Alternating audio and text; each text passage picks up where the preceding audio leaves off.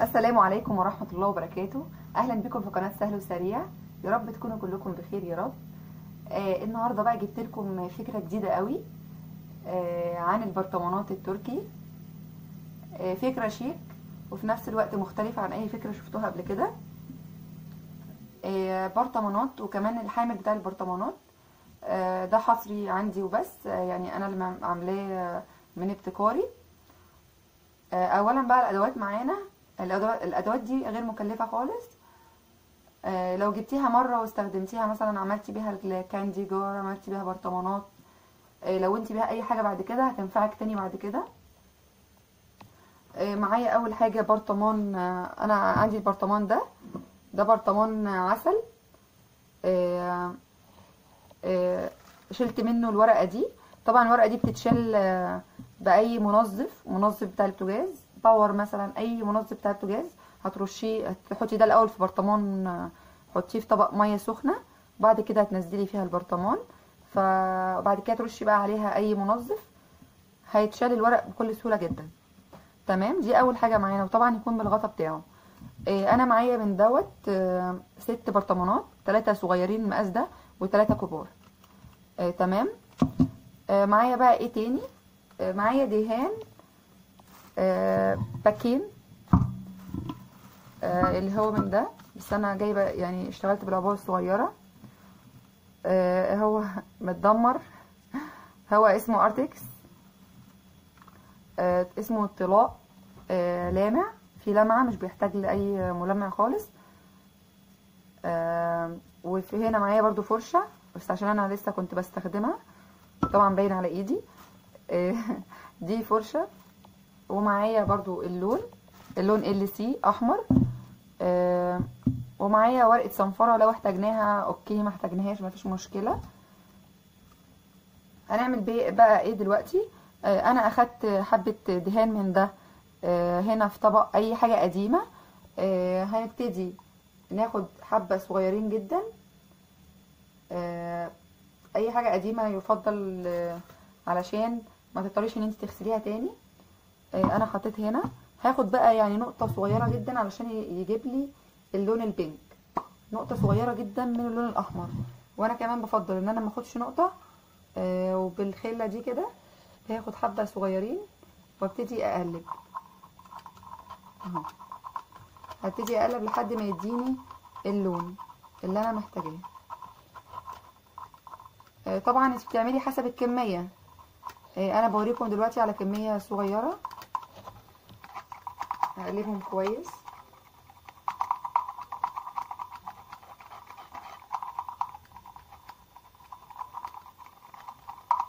آه هي الدرجة دي الدرجة بالظبط اللي أنا عايزاها.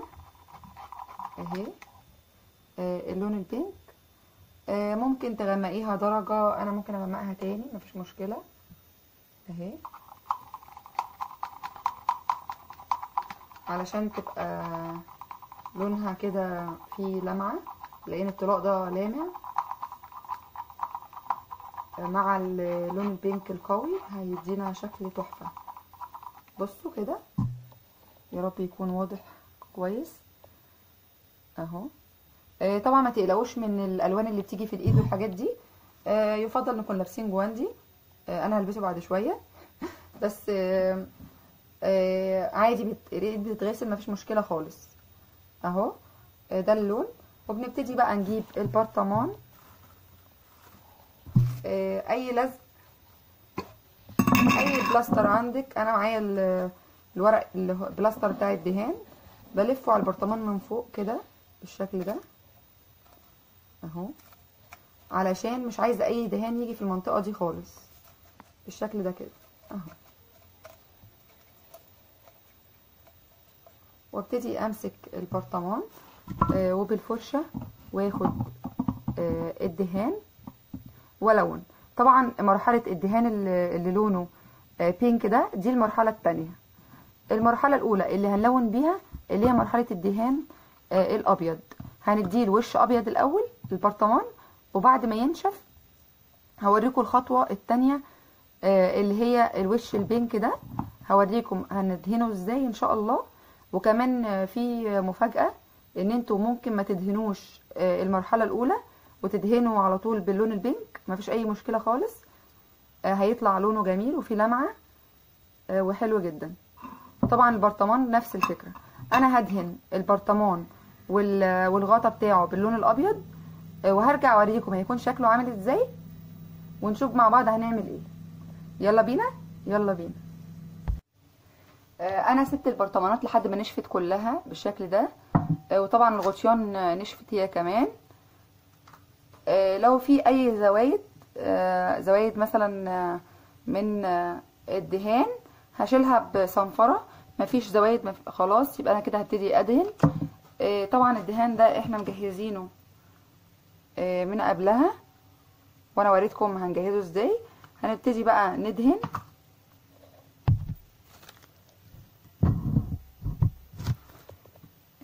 هبتدي بقى آخد جزء كده صغير من الدهان وهدهن طبقة كمان.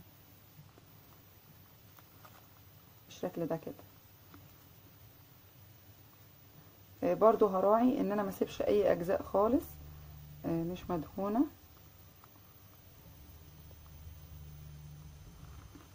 بالشكل ده كده.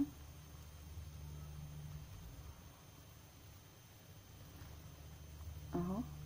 طبعا ال- البرطمان نفسه فيه زخرفة. ف... فلو البرطمان سادة هيكون أسهل كمان لكن ده علشان فيه زخرفة. ف آه، أنا بضطر أدخل هنا في الفراغات دي كلها وراعي إن هي تكون مدهونة كويس.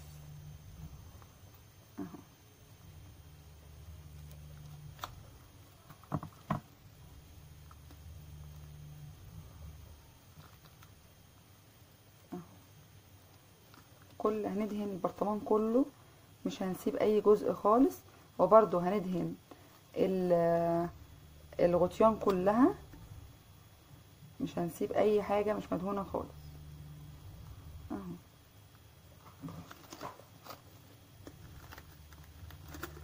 ألف كده الجزء ده.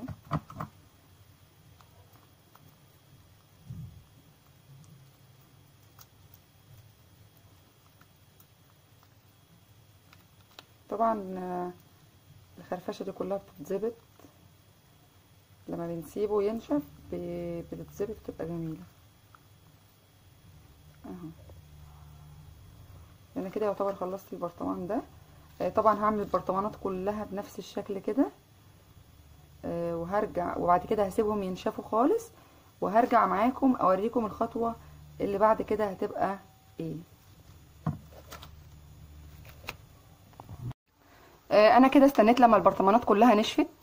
آه، ولو تقدري لو أنت مش عايزة تديها وش أبيض وبعد كده وش بينك تقدري تديها وش بينك على طول من غير أي وش أبيض خالص. آه، وزي ما أنتم شايفين كده في لمعة جميلة. أنا جبت حبة غيرة وخففتهم بالمية. بقى بقوا عاملين زي الزبادي كده بصوا. بقوا عاملين زي الزبادي. آه، وهجيب آه، سفنجة صغيرة. آه، وبصوا الأشكال دي. الأشكال دي آه، أنا قصاها من الورق ده.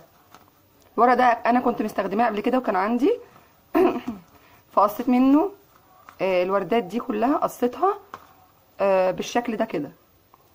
لو أنت مش عندك الورق وعايزة تجيبي أشكال آه، ممكن تطبعي أشكال ورد ليزر آه، عند أي مكتب كمبيوتر. الورقة بجنيه ونص هتطبعي فيها كل الأشكال اللي أنت عايزاها. أنا بقى بالسفنجة كده وهاجي أجيب آه، حبة آه، غيرة. لو مش عندك سفنجة استخدمي الفرشة عادي. آه، وهاجي هنا كده في المكان اللي أنا عايزة. آه، أحط فيه اللزقة ال- الوردة. هحط الغيرة كده أهو. وهبتدي أحط الوردة كده بالشكل ده كده. وبعد كده همشي عليها كلها بالغيرة علشان تثبت كويس. ما تقلقوش الغيرة كله هيروح. مفيش أي مشكلة خالص. أنا أهم حاجة أثبت الأطراف كلها. أنا كده يعني على قد ما أقدر ثبتها بال- بالسفنجه أهو. بعد كده بقى بشيل الزوايد بالراحة. كده. بشيل الزوايد كلها بالراحة كده من حوالين الرسمة. أهو. بعد كده هسيبها تنشف. وفي نفس الفكرة دي هعمل على الغطا. هعمل على الغطا نفس الفكرة بالظبط. وهرجع أوريكم هيكون الشكل عامل إزاي في النهاية. آه، بصوا يا بنات آه، الحامل ده أنا صنعته بنفسي. آه، ده ورق آه، ده القاعدة بتاعت آه، أي آه، تورتة. وحطيت من تحت بس آه، غطا علشان تلف على الرخامة. ولزقت فيها آه، ده. بتاع الورق آه، الزبدة أو أي رول أخدته منه قطعته وحطيت من فوق كده آه، ده غطا أي إزازة برضو علشان بس يدي شكل.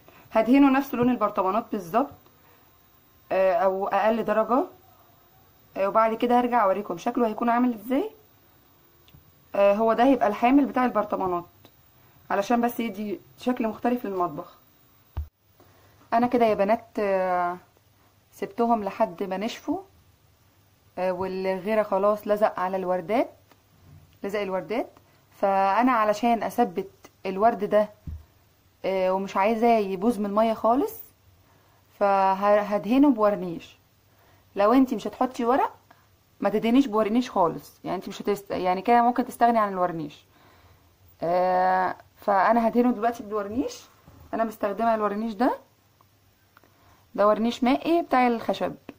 آه في ناس بتستخدم آه، ورنيش آه ورنيش مائي اللي هو الكيلو بخمسة وعشرين وده برضو الكيلو بخمسة وعشرين. ده بيغير اللون شوية بيغمق اللون درجة. يعني لو تلاحظوا الفرق بين دي ودي دي محطوط لها ورنيش مائي ودي لأ. فبيغيروا درجة واحدة بس بتبقى حلوة يعني. فأنا دلوقتي هوريكم هعمله إزاي. أدي البرطمان أهو. آه، بعمله بالسفنجة علشان آه، بحب استخدام السفنجة أكتر يعني. هبتدي بقى أمشي فوق آه، الرسمة أهم حاجة. أنا أصلا عاملاه علشان الرسمة لكن كده كده ال- الطلاء اللي أنا مستخدماه فيه لمعة مش بحتاج معاه أي ورنيش خالص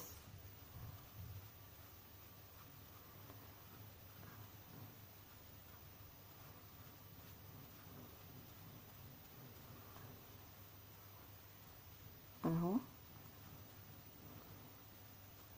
طبعا الورنيش ده أي زوايد بت يعني ما بتسيبش أي أثر خالص.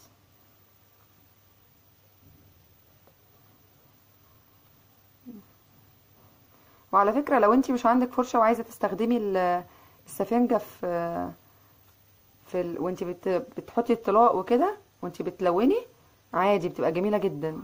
أنا كتير أوقات كتير بستخدمها. ادي شكله أهو بعد ما تحط له الورنيش. أنا هسيبه ينشف وهرجع اوريكم. هيكون شكله عامل إزاي؟ هنشوف بقى الخطوة اللي بعد كده إيه. آه، زي ما أنتم شايفين يا بنات آه، أنا كده خلصت طقم التوابل التركي. آه، شكله شيك وسيمبل خالص. أنا مش بحب الشغل اللي فيه بهرجة و- وحاجات over في ناس طبعا بتحط نقط نقط طلاء أبيض بال باللي هي بتاعت الودان دي بيحطوا بالنقط نقط كده. أنا ما حبيتش اعمل كده. حبيت آه، انه يكون simple أكتر. آه، والحامل ده طبعا من ابتكاري.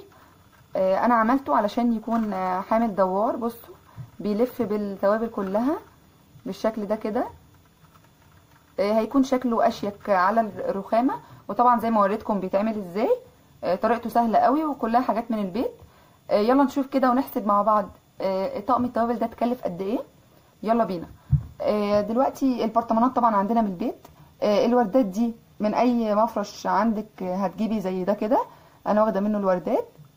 آه، وكمان لو حتى طبعتيها عند أي مكتب كمبيوتر آه، هيكلفك جنيه ونص بس. آه، ده كروشيه خيط كروشيه. آه، أنا قصيت على قد آه، على قد البرطمان. آه، وكمان آه، آه، ما- يعني يعتبر كده مفيش أي حاجة اتكلفت خالص. كلها كلها حاجات من عندنا من البيت. آه، الدهان لو حسبنا الدهان هنلاقي إن الدهان واللون وال آه، والملمع التلاتة مع بعض حسب الكميات اللي إحنا استخدمناها هنلاقيها حوالي اتكلفت حوالي عشرة جنيه مش أكتر خالص. وممكن كمان يكون أقل. آه، ده كمان لو ما كانش عندكم دهان في البيت. آه، يا رب تكون الفكرة وصلت وعجبتكم. آه، ما تنسونيش بقى في ال share و like و subscribe للقناة وفعلي الجرس علشان يوصلك كل جديد. بصوا يا بنات بيلف معانا اهو. آه، واكيد أنتوا شايفين انه هيكون شكله آه، شيك قوي على الرخامة. آه، وكمان غير مكلف خالص. تابعوني إن شاء الله في فيديو جديد وفكرة جديدة. والسلام عليكم ورحمة الله وبركاته.